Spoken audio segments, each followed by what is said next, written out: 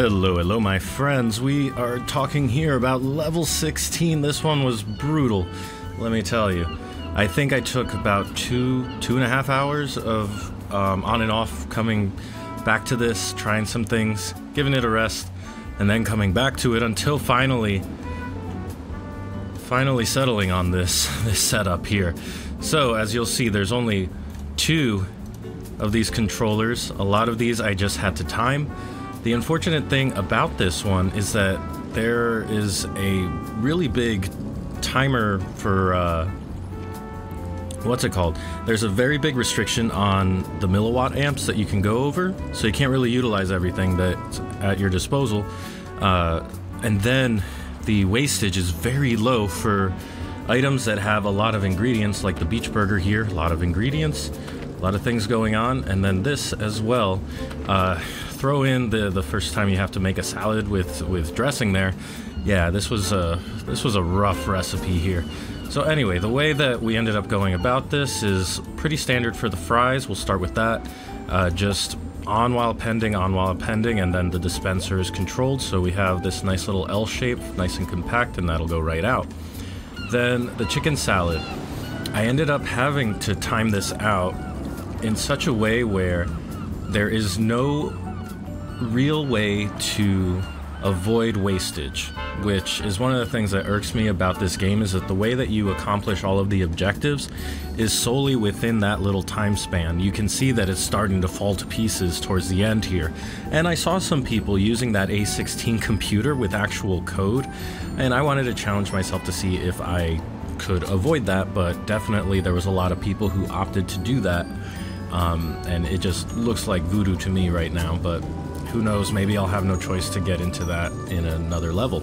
But for now, for the chicken salad, I had the raw chicken set to 14 seconds, the tomato to 16, the tomato, uh, the carrot to 16, and the lettuce to 8. So I put these on, you know, the 16 second, 8 second because we need two twice as much lettuce. And here I backed off by 2 seconds because there's the, a delay for the chicken getting here with the cooking.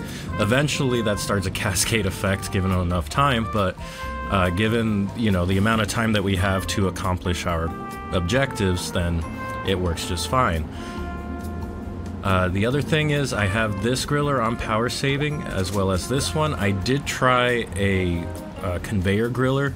I tried one of these guys and I had all three things that need to be grilled going through it and I just could not get it down. I think the most I had was 249 so uh, for the ingredients used. So that means I was super duper close to getting it, but I ended up having to abandon it, abandon it because I could not get the patties off fast enough. Anyway, so speaking of patties, the beach burger here, uh, mushroom 21 seconds, burger bun and tomato 21 seconds, and then the raw patty 7. So, yeah. I had to actually increase the time for this because we were wasting too much ingredients. And you'll see as we get this started, it's just the sense that any of this makes is just baffling to me.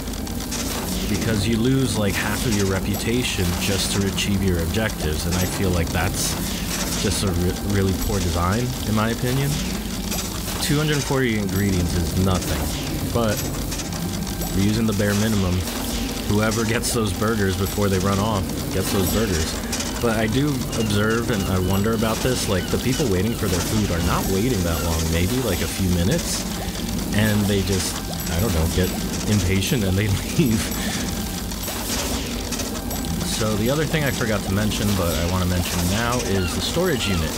I have a storage unit here for the burgers because they take that long to make, that you build up a nice little stack until you get into the 30s here, and eventually when that rush comes, they all go away but that's the only way I could get any sort of edge here. Now that we're in the 30s, we're going to start losing orders. Uh, the other thing is that there's an Exterminator 2000 here for infestation of the storage unit. I know it's kind of hard to see, so it's just sitting there waiting to do its thing. But yeah, it's uh, it's a really poor solution. It is not good, but it got me 100% efficiency. So I guess the reputation doesn't matter. I don't know is very strange. I don't know why the robot gives us such uh, weird objectives that don't align with our reputation, but maybe robots don't care about their reputation. Anyway, guys, that's going to do it for me here. Hopefully, you had some different variation of success on this one, but if you found it helpful, please throw this video a like or subscribe to my channel. That would be awesome. But for now, thank you so much for watching, and I'll see you next time.